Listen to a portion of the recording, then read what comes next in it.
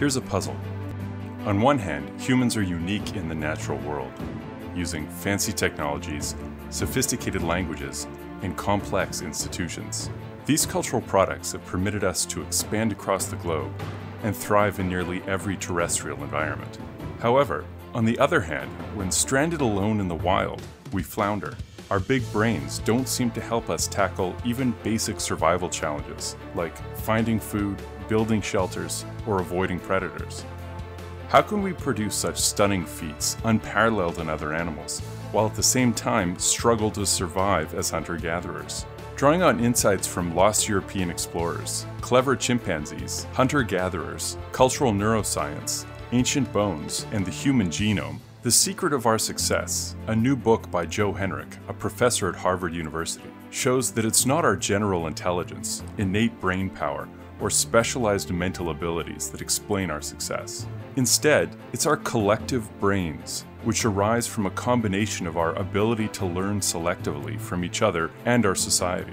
Our collective brains, which often operate outside of any individual's conscious awareness, that gradually produce increasingly complex, nuanced, and subtle technological, linguistic, and social products over generations. The power of a group's collective brain depends on a group's size and interconnectedness, which is why larger and more interconnected populations tend to possess a wider range of different tools, more sophisticated technologies, and more complex languages. The power of our collective brains to generate fancy cultural products like fire, cooking, water containers, animal tracking know how, plant knowledge, social rituals, marriage systems, training routines, and projectile weapons has long propelled our species' genetic evolution in new directions, making us into the world's only living cultural species. We don't have culture because we're smart.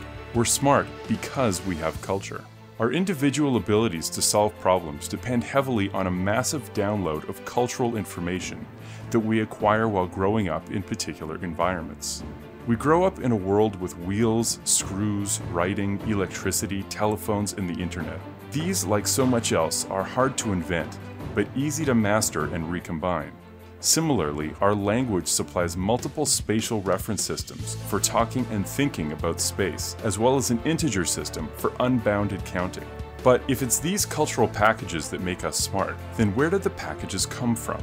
Tracking this puzzle back into the mists of our evolutionary past and around the globe, Henrich shows how learning from others can give rise to a process of cumulative cultural evolution that will gradually produce, well outside of anyone's conscious awareness, increasingly sophisticated technologies, complex languages, and subtle institutional forms. Among the traditional societies of Oceania, for example, larger islands with bigger populations sustain larger and more complex toolkits. This culture-driven process dramatically influenced our species' genetic evolution, expanding our brains to make us better cultural learners, altered much of our psychology to prepare us for life in our culturally constructed environments, and modified our anatomy and physiology. Henrich shows that human evolution and psychology only make sense in the light of culture and culture-driven genetic evolution. For more information, read The Secret of Our Success.